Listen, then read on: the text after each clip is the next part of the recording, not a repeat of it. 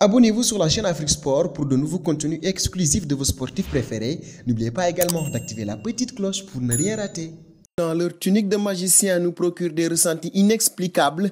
C'est le cas avec les vainqueurs du Ballon d'Or qui ont eu, dans leur majorité, à avoir marqué l'histoire de ce sport.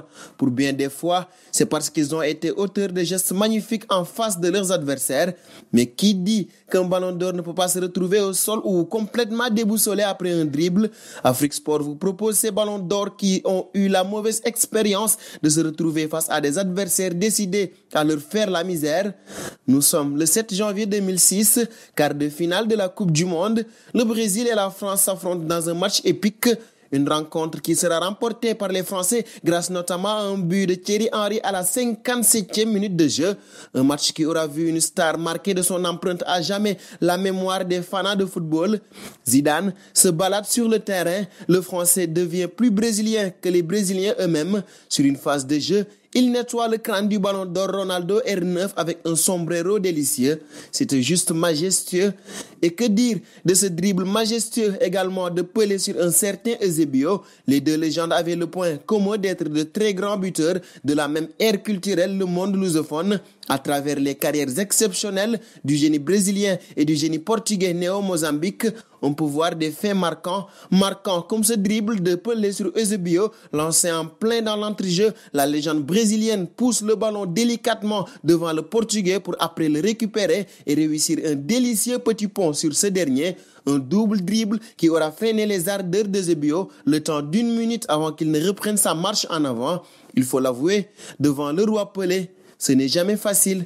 Et nous sommes en 2013, le 26 octobre plus précisément, soir de Classico. L'FC Barcelone joue le Real Madrid pour la 425e fois. Un match qui sera remporté par les Blaugrana sur le score de 2 buts à 1 Durant cette rencontre, un fait a marqué les esprits. Décalé sur son habituel côté droit, Dani Alves part au 1 contre 1 avec le ballon d'or Cristiano Ronaldo. Il fait mine de rebrousser chemin avec le ballon avant de surprendre le Portugais avec un petit pont venu d'ailleurs avant de se procurer une occasion de but sortie par le portier de la pure délicatesse brésilienne.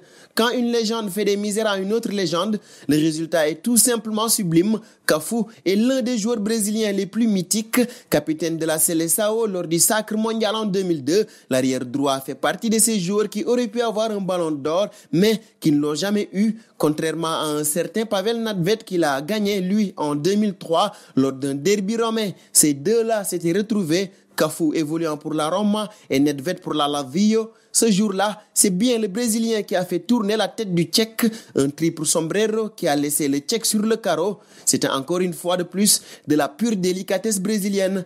Autre action marquante et concernant un ballon d'or, le duel Luka Modric-Frankie de Jong. Nous jouons les huitièmes de finale de la Ligue des Champions saison 2018-2019. L'affiche oppose le Real Madrid à l'Ajax Amsterdam. En début de rencontre, Frankie de Jong a récupéré le ballon dans les pieds de Vinicius Junior, faisant tomber à la fois le Brésilien puis le ballon d'or Luka Modric qui tentait de récupérer le ballon derrière lui. Un dribble déroutant rappelant le toucher de balle d'un certain Andrés Iniesta Pris par la pureté du geste, le Ballon d'Or 2018 ne s'en est pas remis de sitôt. L'extraterrestre Lionel Messi a pour habitude d'humilier ses adversaires sur le terrain, comme il l'a fait avec Jérôme Boateng face au Bayern Munich.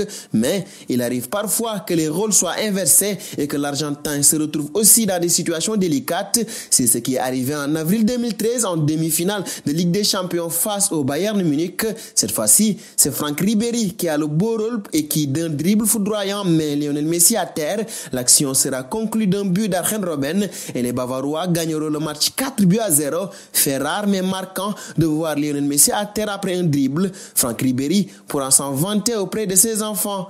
C'en est fini pour ces moments restés dans la mémoire collective des amateurs de football. Auréolé du titre suprême pour un footballeur, les ballons d'or n'en sont pas moins des joueurs exposés au génie et à l'imprévisibilité de leurs adversaires. Ce petit tour d'histoire nous le rappelle bien. Alors pour vous, quelle action vous a le plus marqué? Vos avis seront attendus en commentaire et nous vous donnons rendez-vous très sur votre chaîne Afrique Sport.